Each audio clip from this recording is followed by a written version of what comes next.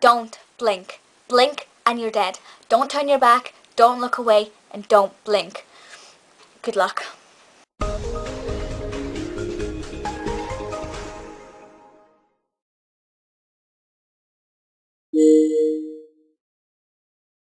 Hey everyone, so as I'm sure you could tell by the introduction there, I'm talking about another Doctor Who episode, and this is Blink.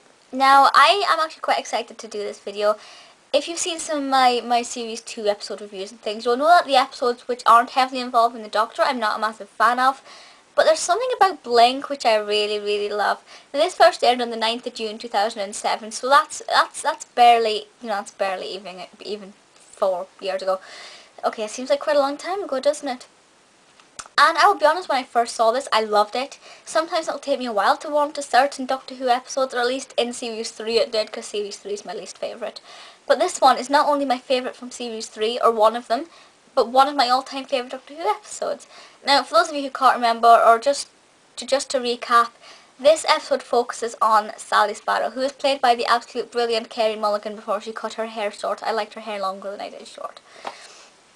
And she finds all these messages on DVDs, and the Easter egg messages as well, from a man called the Doctor.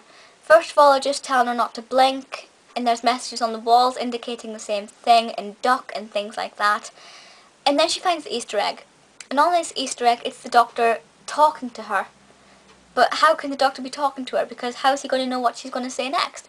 And there's this whole thing about how the angels have the phone box. On that note, I just want to show you these as well while I'm talking. So she finds the the messages, and she finds a new message from the Doctor, which goes on about the angels and how she's not allowed to blink. And at first, she doesn't really know what he's on about, but then she sees them. The stone angels, the weeping angels, and obviously they're the most terrifying things ever. So before I get in with this, I have two badges. The first one says the angels have the phone box, which I absolutely love. I think that's brilliant. And then the second one says keep calm and don't blink. I'm a massive fan of the keep calm and carry on series, like the the mock badges with a little TARDIS. So yeah, I absolutely love this episode enough that I went and bought badges. And she sees the weeping angels, and they are the most terrifying things in the world. They, they, there's, there's a thing about stone statues. You'll find it in a lot of movies. It's the, the gargoyles in Harry Potter are the same. They're stone, but they come to life. You walk past old houses with like the lion statues on the top of the gates, and you think they're going to jump up and eat you.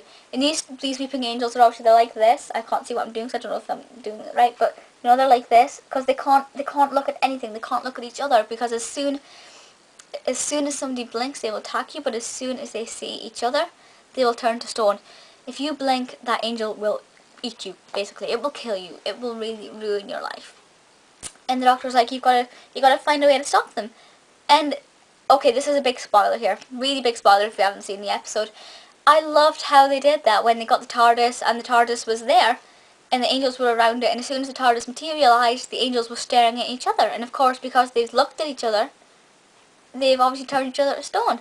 So that was really, really clever. I, I did not see that coming. And even every time I watch it, I sit and go, wow, that was a really amazing thing to do. I didn't see that coming, even though I know exactly what's going to happen. Because it's just, I just, I maybe I've got a really simple, basic, easy to please mind, but I really thought that was really quite intelligent and quite a clever way to go about it. I didn't think they were going to do that. I often wondered why they didn't just get something and smash the angels to pieces or something, but they'd probably kick up a big fuss if you smashed one of them. But I absolutely love the concept. You also have the whole the whole travelling in time concept with the letters and things, and it's kind of... I think it's unnecessary padding. I know some of you like that aspect with her friend and things.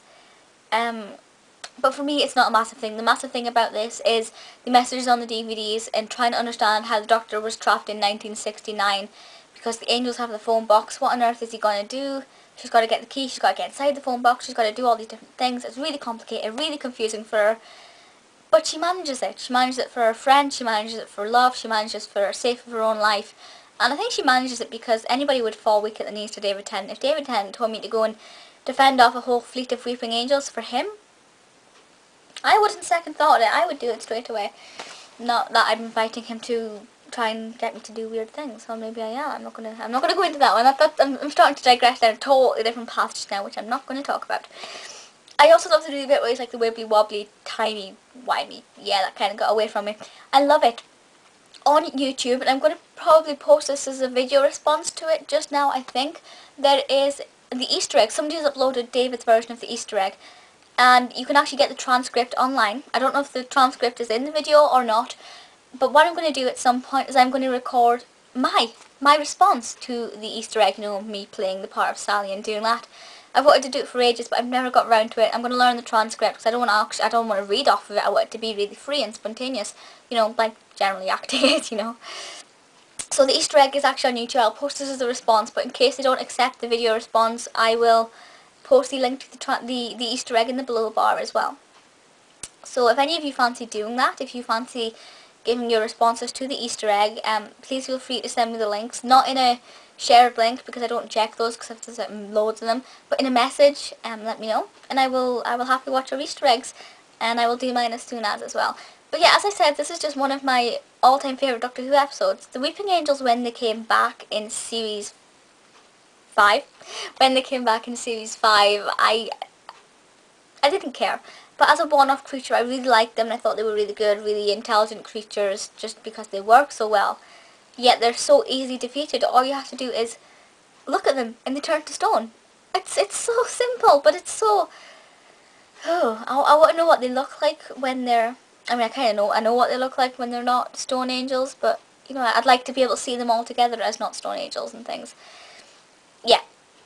But please feel free to leave comments and let me know your thoughts on this. And also let me know if you actually prefer, if you like the being in Series 5. I don't, I was, I made my peace with them in Series 3. I like that, but never mind. Um, yeah, but please feel free to leave comments and let me know your thoughts on this. And that is it for just now. And I'll see you next time. Bye!